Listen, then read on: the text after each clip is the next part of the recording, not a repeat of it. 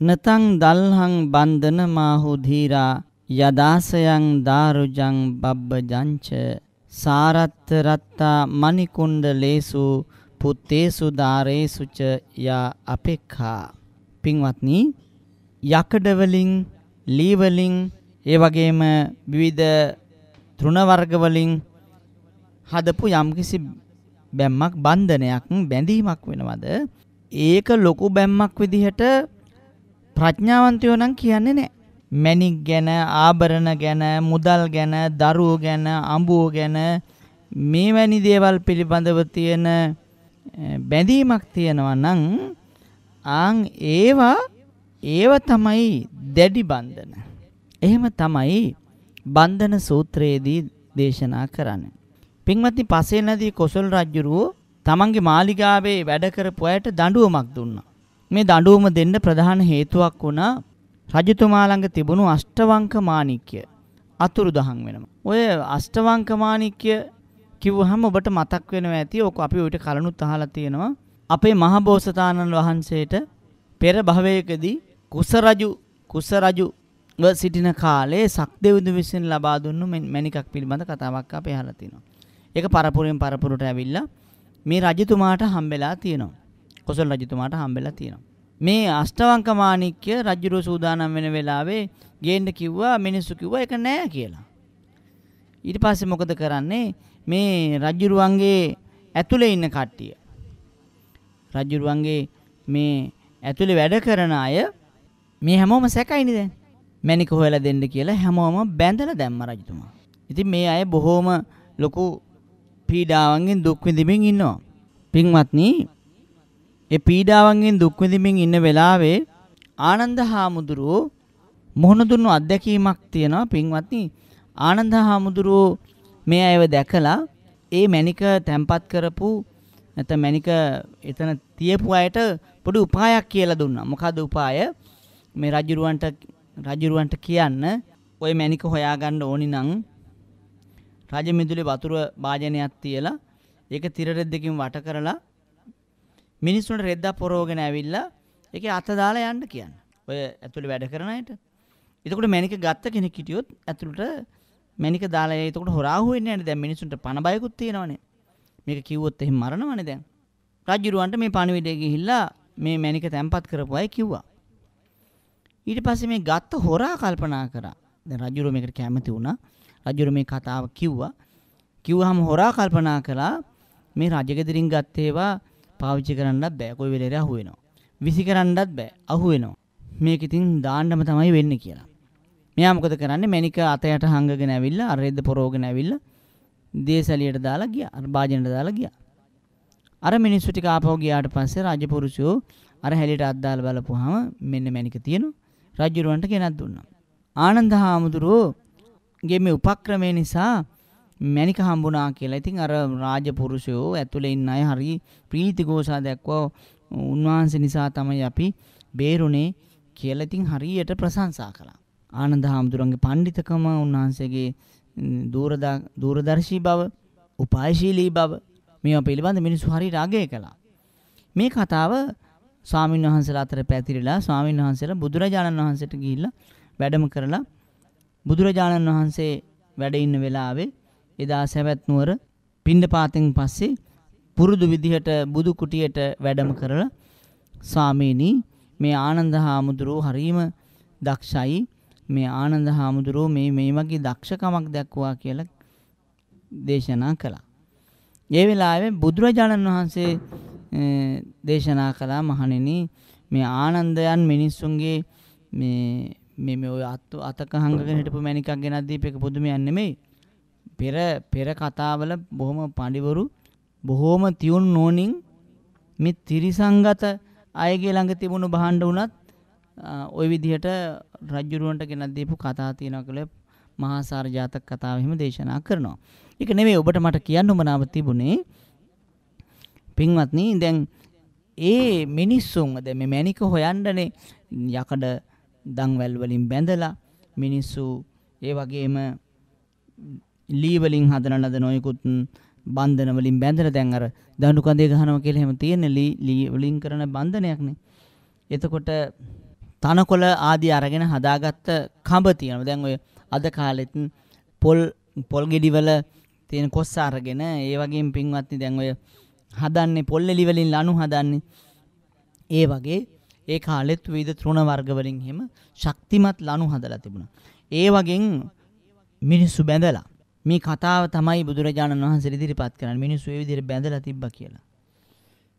බොහොම දරුණු විදිහට මේ මහජනයා බැඳලා තිබ්බා මේ රජතුමා කියලා අර හාමුදුරුවෝ භික්ෂුන් වහන්සේ ඉදිරිපත් කරනකොට. බුදුරජාණන් වහන්සේ ඒ වෙලාවේ තමයි දේශනා කරන්නේ ඒ යකඩ වලින් ලී වලින් ඒ තෘණ වර්ග වලින් හදාගත්ත ලණු වලින් බැඳපුවා ඒවත් දැඩි බන්ධන නෙමෙයි බුද්ධිමතුන්ට. ඔయిత වඩා ලොකුයි මේ මිල මුදල් වලට ආභරණ වලට. රත්තරන් මුතු මැණික් වලට පුජ්‍යලයන්ට තියෙන බැඳීම කියලා දේශනා කළා. හැබැයි ප්‍රඥාවන්තයෝ ඒතන් දල්හම් බන්ධන මාහු දීරා. ඕහාරිතං සිතිලන් දුප්ප මුඤ්ඤං බුදුහාඳුර වදාලා ඒතන් දල්හම් බන්ධන මාහු දීරා ඕහාරිනං සිතිලන් දුප්ප මුංචං ඒතම් පිචෙත්වාන පරිබ්බජන්ති අනපෙක්කිනෝ කාම සුඛං පහයාති මේ ප්‍රඥාවන්තයෝ ධීර මේ ප්‍රඥාවන්ත පුජ්‍යලයෝ මේ බැඳීම් මේ දුෂ්කර වූ බන්ධනය බොහෝම බිහිසුණුයි. මොන බන්ධනේද? අර අර සල්ලිවලට බඩුමුට්ටුවලට පුජ්‍යලයන්ට තියෙන බැඳීම නැත්නම් මේ ගාථාවෙම කියවනේ පින්වත්නි මේ මණිකුණ්ඩලේසු මේ මණික් ආභරණ වලට ඒ වගේම පුත්තේසු දාරේසු මේ අමුදරුවන්ට තියෙන බැඳීම ඒක ඒක දැන් අපි ගලප්ප ගන්න ඕනේ. ඉතින් මහත්යට තියෙන බැඳීම, නෝනට තියෙන බැඳීම, බඩු මුට්ටු වලට තියෙන බැඳීම, සල්ලි වලට තියෙන බැඳීම මේ මේ විදිහට අපි මේක දැන් අපිට ගලප්ප ගන්න එපේ. මේවත් එක්ක තියෙන බැඳීම තමයි ඊටාම දුෂ්කර, ඊටාම රළු, බිඳින්න අමාරු බැඳීම් විදිහට නුවණැත්තු දකින්නේ. නුවණැති අය ඒ තම්පි චෙත්පාන පරිබ්බජಂತಿ. ඒ උදවිය ඒව ඒ බැමි බිඳිනවා. ඒ අසීරු බැමි බිඳිනවා. ඒ උදවිය ඒ අසීරු බැමි බිඳලා අනපෙක්කිනෝ කාම සුඛන්ති පහයාති. මේ කාමයන් පිළිබඳව අපේක්ෂා නැතුව බලාපොරොත්තු නැතුව ඉතින් අදහස් කරන්නේ මේ ඇස පිනවන්න කන පිනවන්න නහය පිනවන්න දිව පිනවන්න ශරීර පිනවන්න හිත පිනවන්න බලාපොරොත්තු නැති වෙන තත්ත්වයටපත් වෙනවා කියලා අනපෙක්කිනෝ කාමසුකම් පහයාති මේ මේ පංචකාම සම්පත් පිළිබඳව තියෙන බලාපොරොත්තුව අතෑරලා දානවා. මොකද ඒක ඒක බලාපොරොත්තුවක් විතරයි. ඒ බලාපොරොත්තුවට තියෙන්නේ වෙහෙසක් විතරයි, දඬුවම් ටිකක් විතරයි. ඒ උදවිය පරිබ්බජන්ති. පැවිදි වෙනවා කිව්වා. අර ඔක්කොම ගිහි ගෙදර තියෙන බැඳීම් අතෑරලා දාලා. දැන් මේ දේශනාව අහන ඔබට හිතෙන්න පුළුවන් මේ ස්වාමීන් වහන්සේලාගේ දේශනාවලින් අපිට මේ ගිහි ගෙදර එපා කරනවද කියලා. පින්වත්නි ඇත්තටම ගිහි ගෙදර ගත කරන තැන ගිනි ගෙදරක් වගේ කෙලෙස් වලට ආකරයක් වෙච්ච තැන. සම්බාධෝයන් ගරාවාසෝ රජස් ආයතනං ඉති. ඒක කෙලෙස් උපදවන තැන. ඒක ඇත්ත. ඒක බොරුවක් නෙමෙයි. එතකොට නමුත් ඒක එහෙම කියලා දැනගන්න ඉපැයි ඉස්සෙල්ලා. ඉතින් ඒ දැනගෙන ගත කරන කාලයක්. පින්වත් මේක භව ගණන් මේක මේක අධ්‍යයනය කරනවා. එතකොට මේක තේරුම් අරගෙන ගිහි ජීවිතය ගත කරන කෙනා ඊටාම අර්ථවත් ගිහි ජීවිතයක් ගත කරනවා. එතකොට අර්ථවත් බව ඇතුලේ ඔහු ලාමක බැඳීම් වලට පහර දෙනවා. ලාමක බැඳීම් වල බැඩි වෙන්නේ අර්ථවත් ජීවිතවල නෙමෙයි පින්වත්නි. ලාමක බැඳීම් තියෙන්නේ ප්‍රඥාවන්ත නොවන ප්‍රඥාවන්තකමේ ප්‍රඥාවන්තකමේ ශක්තිය අඩු වෙච්ච තැන්වල. හැබැයි ප්‍රඥාවන්ත වෙන්න ප්‍රඥාවන්ත වෙන්න ප්‍රඥාව වැඩෙන්න වැඩෙන්න ඒ බැඳීම් ලාමකව වෙන්නේ නැහැ. ඒව අවබෝධයෙන් ඇති කරගත්තේවා. ඔය යුතුයකම් පදනම් කරගෙන බැඳිච්ච. ඒවා කාටවත් හිරියරයක් නොකරන්න හැදිච්ච ඒවා. පින්වත්නි, ඒ බැඳීම් අවබෝධයෙන් තියාගත්තාම ඇතැම් විට ඊළඟ ප්‍රතිඵලය මේක වෙන භවයක වෙන්න පුළුවන් සංසාර කතාවේ පැවිද්ද පිණිස හිත නැමෙනවා. නික්කම්ම සංකප්පේ වැඩෙනවා. දැන් මේ සම්මා සංකප්පේ නෙකම්මත් වඩන්න ඉපේ. ඒක නිසා මේක මේ මේ දැන් මේ බනට ඇහුවයි කියලා ඔය ගෙදර නෝනයි මහත් තත්ත්වයයි දරුවෝ අතෑරලා ඔබට අද යන්න බැරි වෙයි. සල්ලි ටික අතෑරලා ඔබට යන්න බැරි වෙයි. ඔබ ඔබට මේ මේ ඇතුලේ හදාගත්ත බන්ධන ගොඩක් තියෙනවා. දැන් මේ දේශනාවේ කියනවා නිතාම තාම දරුණු බැඳීම් කියලා මේවා මේ නිකන් යකඩ කඩාගෙන යන්න පුළුවන්. නමුත් මේ ඒ දන්වැල් කඩාගෙන ගියට මේවා කඩයි යන්න අමාරුයි කියලා. අමාරුයි තමයි. එතකොට ඒවා ඊටාම ක්‍රමයෙන් උපක්‍රමශීලීව තමයි කඩන්න වෙන්නේ. ඒ සඳහා මේ මේ දහම් ශ්‍රවණය කිරීම ධර්ම සාකච්ඡා කිරීම මෙනෙහි කිරීම ඒවත් හරි වැදගත් වෙනවා.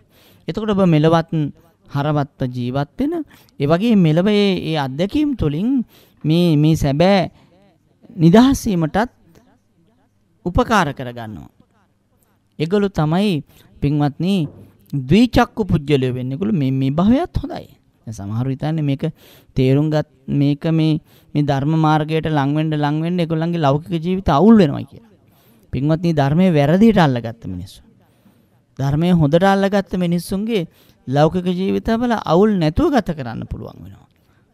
මොකද සාමාන්‍ය කෙලෙසුන් පිරුණු ජීවිතේ වීරුවෙන් වගේ ගත කරන කොහොම හරි අපි සැපෙන් ඉමු සැපෙන් ඉමු කියලා ගත කරන එක තුළ සැප ඇත්තටම නැති නිසා අවුලෙන් අවුලට තමයි පත් වෙන්න තියෙන්නේ. නොයෙකුත් මානසික රෝග නොයෙකුත් කායික රෝග නොයෙකුත් ආරවුල් වලට තමයි පාර කැපෙන්නේ. හැබැයි මේ ඇත්ත කතාව දන්න කෙනා දරා ගැනීම අන් අය වෙනුවෙන් කැපවීම පරිත්‍යාගශීලීකම ඉවසීම වැනි නොයෙකුත් ගුණධර්ම ප්‍රගුණ කරනවා. ඒක ඔබේ ගෙදර ජීවිතේ සාර්ථක වෙන්න උපකාර වෙනවා. පින්වත්නි, ඒ උතුම් අදහස බුදුදහමින් විතරක් පෙන්වා දෙන.